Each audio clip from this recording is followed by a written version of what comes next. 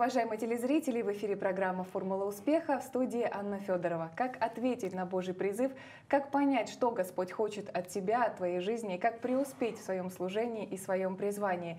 Об этом мы не только будем разговаривать сегодня с нашим замечательным гостем.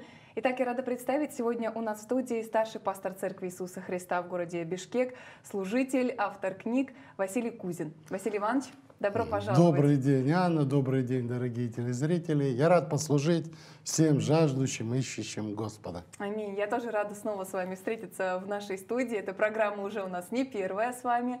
И сегодня говорим об успехе, об успешном призвании, служении. Но путь, конечно, к этому, он большой, длинный. У каждого он свой. Вот э, хотелось бы спросить у вас, тот путь, который вы проходите, прошли, вот оглядываясь назад, вы можете назвать себя успешным э, человеком, состоявшимся в своем призвании? Или вы еще на пути? Тут, ну, как бы относительно чего-то добился много, конечно, да, аминь, там, если брать постсоветское пространство, угу. много чего видел, а, много ездил, много служил, много церквей открывал. Ну, как бы это прошлое. Мне главное теперь это вчерашний день. А сегодня мне заново надо искать, сегодня заново открывать Слово Божие. Оно, ну, как действительно Господь сказал, это бездна богатства. И постоянно что-то ты находишь новое, открываешь какие-то новые источники. Это интересно. Э, ну, что могу сказать? Ну, естественно, многие всегда спрашивают, а почему, а как, а что.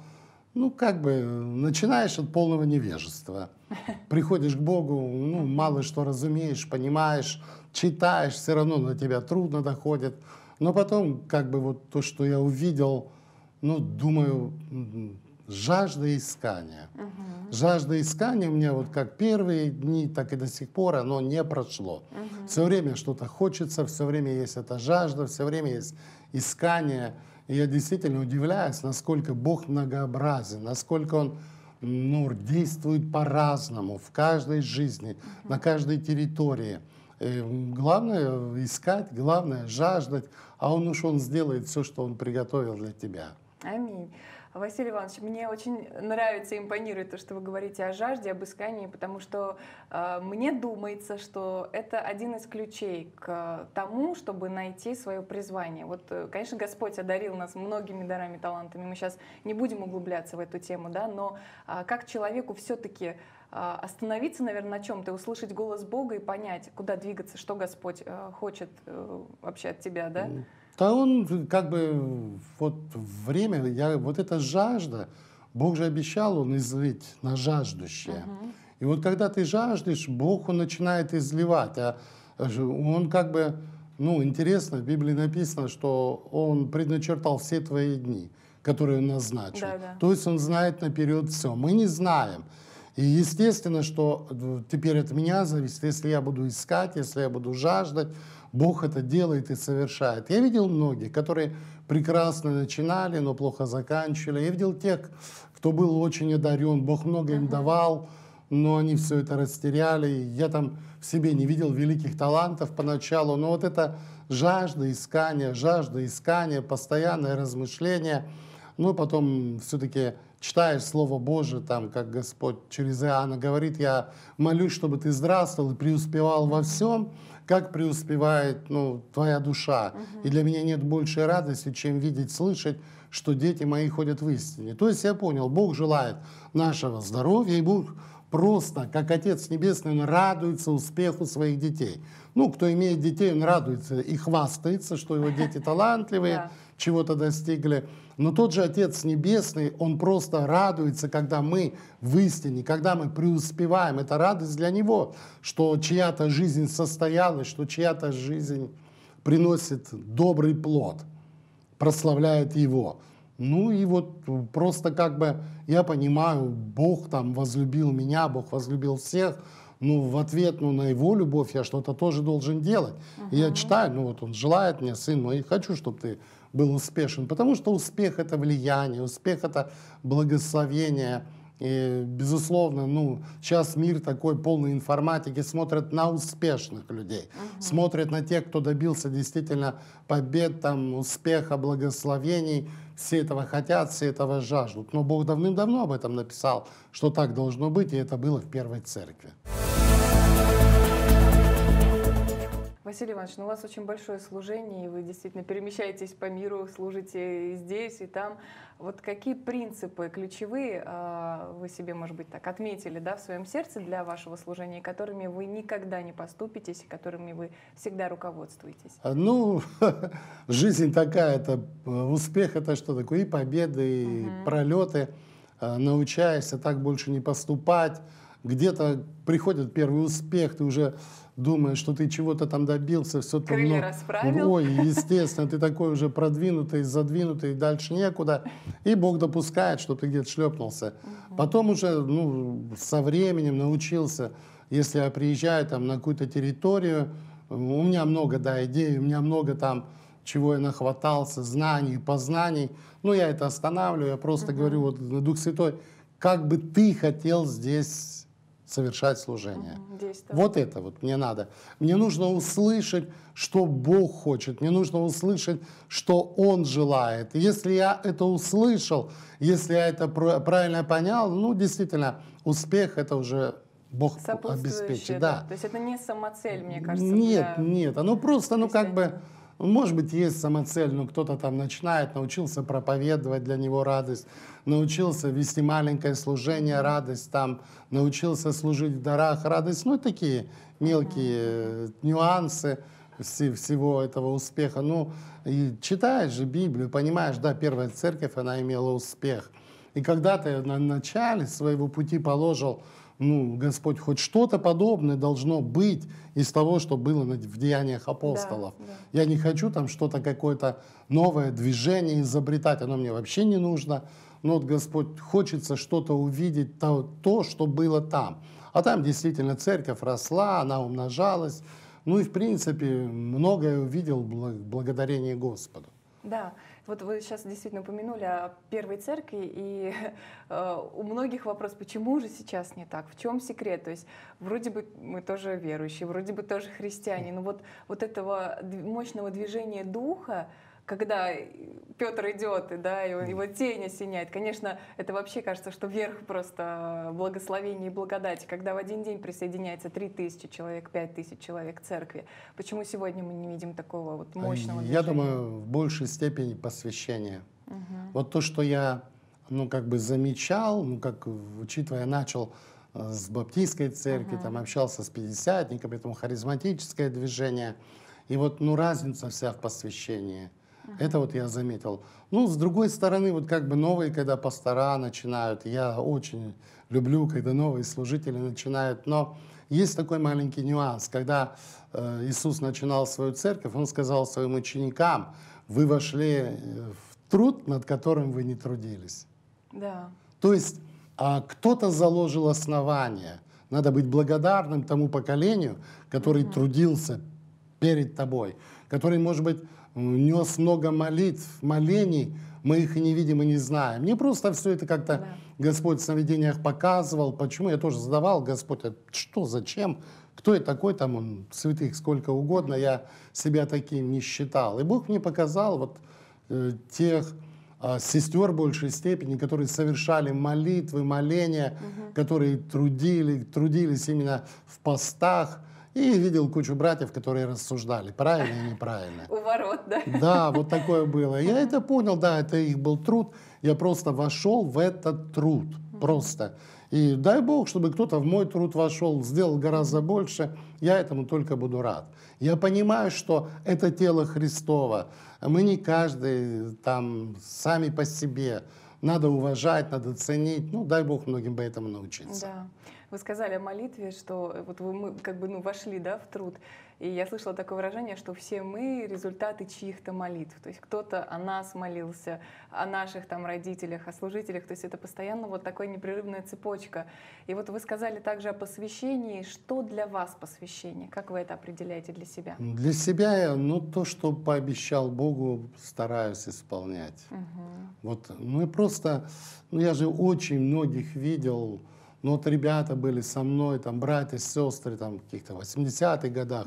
Они стояли там на коленях, плакали, Господь, мы для Тебя служить. Потом, когда разрешили служить, ну многие просто испугались.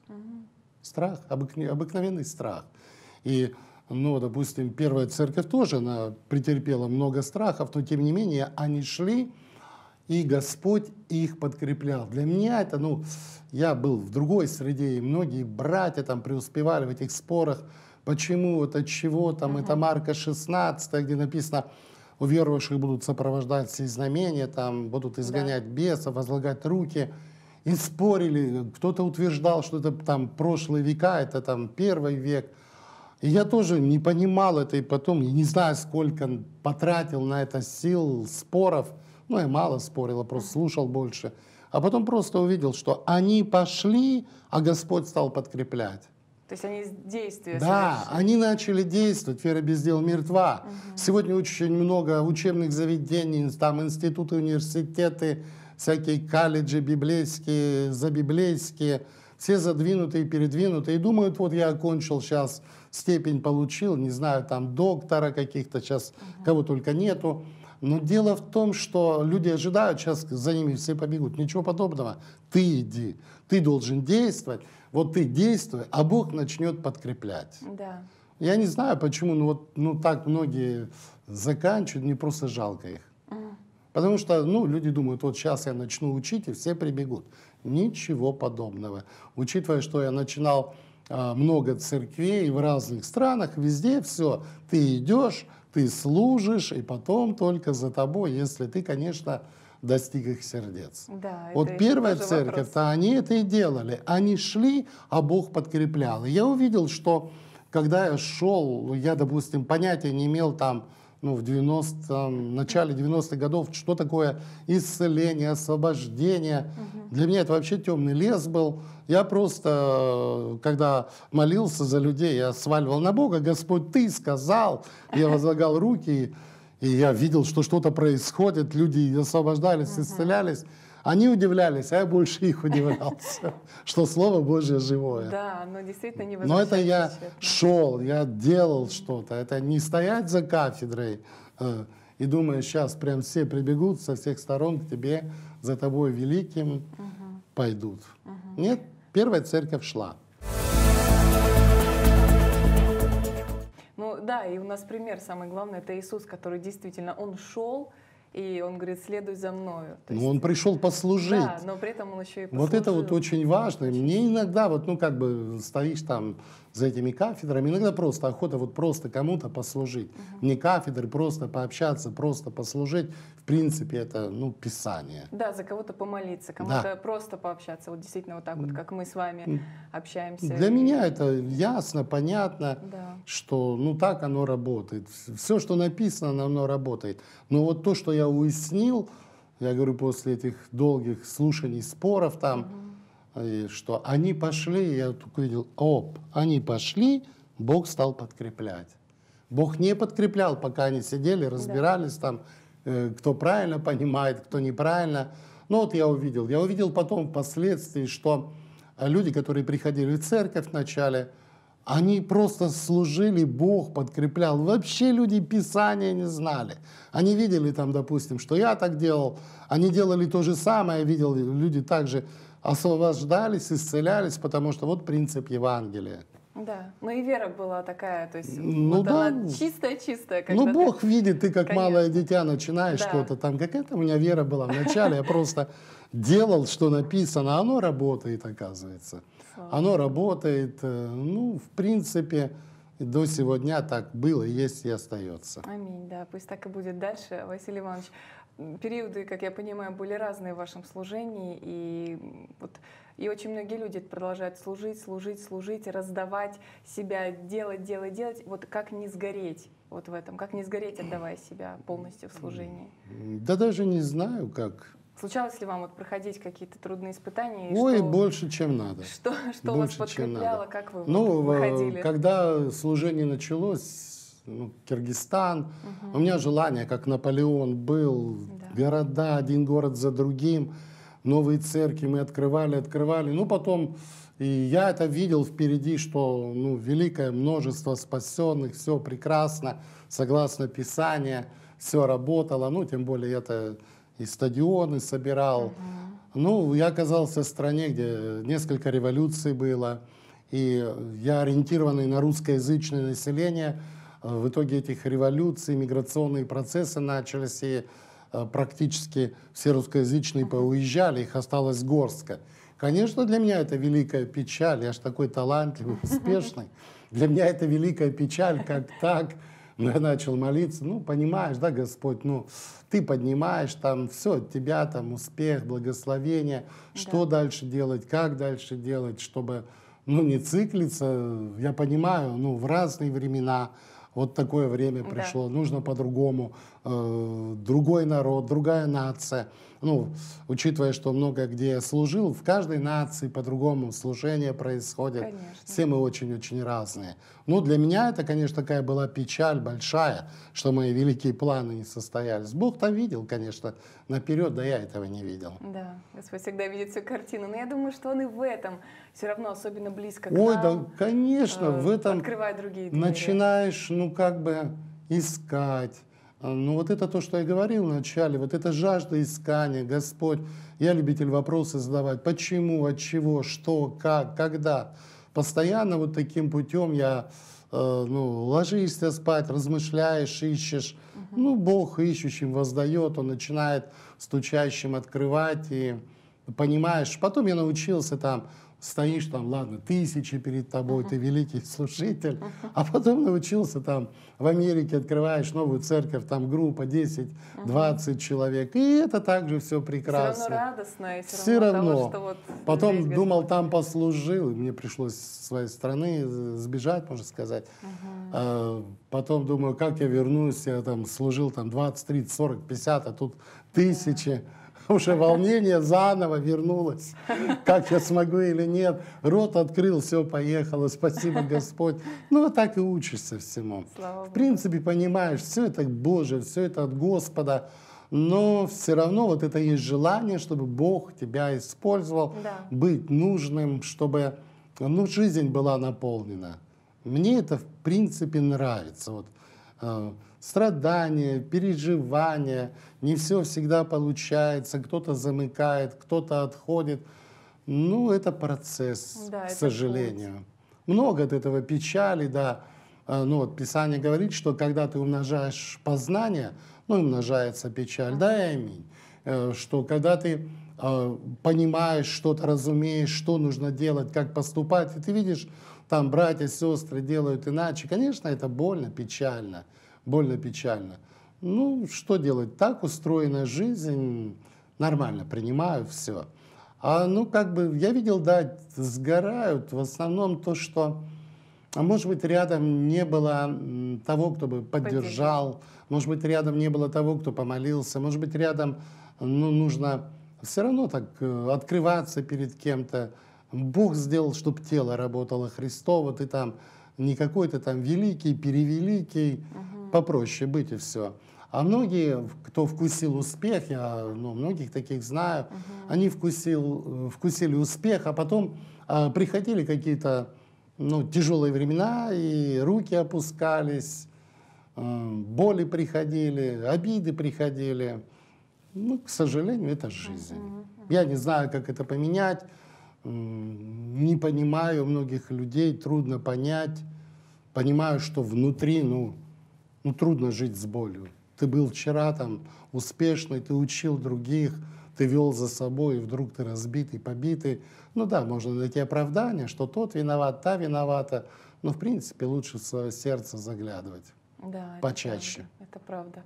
Василий Иванович, у нас остается буквально пару минут, э, и давайте попробуем резюмировать нашу беседу. Мы много сказали, и в этом тоже были такие крупицы, я верю, и советы, как человеку все-таки найти свое служение, свое место и двигаться с Господом. Вот давайте попробуем, может быть, по пунктам разложить, вот с чего бы вы начали, да, вот как вы начинали, как бы вы дали сейчас совет молодым людям. Ну, сейчас бы я начал. Начинают совет. По-другому совершенно, конечно. Я вначале-то я сам пытался все искать, якал, якал. Сейчас а я понимаю, ну, Бог знает все, Господь, ну, открой, что ты приготовил. И многое, то, что в моей жизни происходило, опять же, угу. Господь всегда мне показывал а, видение, сновидение – он мне показывал всегда будущую жизнь. Поначалу просто мое невежество я пренебрегал. А сейчас это, ну, практически каждый день я это ожидаю. Я прошу, Господь, что ты хочешь, как ты хочешь. Ревную тебя дарах, покажу путь превосходнейший. Господь, излей все эти дары, чтобы они работали. Не надо ничего изобретать, все написано. И, и я благодарен действительно Господу, что вот Он многое наперед открывает, мне это нравится. Я прошу, чтобы Господь даруй мне дух премудрости, откровения к познанию Тебя. Я не, мозги не напрягаю. Написано, не полагайся на разум свой, несмотря на то, что у меня большой опыт, там mm-hmm. много знаний, много познаний, там писатель и так далее. Ну, это вчера было. А сегодня мне заново искать надо. Mm-hmm. Вот и все. И я понимаю, каждый день, каждый день, вот там, э, ну, молитва «Отче наш», да? да. Всеми там Э, любимая. Но там же написано, хлеб насущный дай мне на сей день. Господи, новый день начался. Боже, дай мне эту премудрость, дай мне откровение, что ты хочешь делать. Но это, если, конечно, еще ты услышишь, ну и послушно надо быть. Да, не вот, пролетишь вот точно. Это ключ тоже да, еще один. Не пролетишь, потому что, но это, ну, может, иногда и пролетишь, но мы все такие вредные, угу. э, все ищем своего, ну так написано. Но тем не менее ты будешь понимать, стоп, ну раз пролетел, зачем мне второй раз на эти грабли наступать? И снова просишь, Боже, дай премудрость, дай откровение. И если он видит, что ты это ценишь, дорожишь, он постоянно изливает, он постоянно открывает. И мне вот это нравится процесс, что с годами вот как бы Библия по-новому открывается. То, что когда-то я проповедовал там 20 лет назад и более того, сегодня я иначе понимаю. Я и тогда понимал правильно на свой уровень веры. Но сегодня Бог больше открывает. Ну, как вот это бездна богатства, Богатство. без дна, слово русское, да, без да. нету дна. И а, она это Божья премудрость, она многогранна, она велика. Тебе одно откроет, мне другому, третьему, третье, чтобы мы все вместе служили, все вместе дополняли э, это Божье тело Христово, Божье Царство, чтобы оно росло. Василий Иванович, огромное вам спасибо э, за такую беседу интересную. Мне очень понравилось ваш такой позитивный настрой. И несмотря на то, что у вас вот уже очень богатый опыт служения, вы все равно учитесь, и вы не останавливаетесь. И этот же совет вы даете нашим телезрителям. Действительно, бездна богатства и премудрости. Э, дорогие друзья, открывайте для себя Господа читайте Писание, молитесь, ищите Его лица, Его воли, потому что в этом жизнь, в этом источник жизни, в этом благость, благодать, и вы обязательно найдете свое место в служении, в теле Христовом. Господь никого не оставляет э, без дела, скажем так. Все равно э, теми или иными дарами и талантами вы сможете послужить. И этот труд обязательно э, будет отмечен в глазах Господа. Еще раз спасибо вам, Василий Иванович. Было очень приятно с вами пообщаться. Это была программа «Формула успеха». Всего доброго и увидимся на ТБН.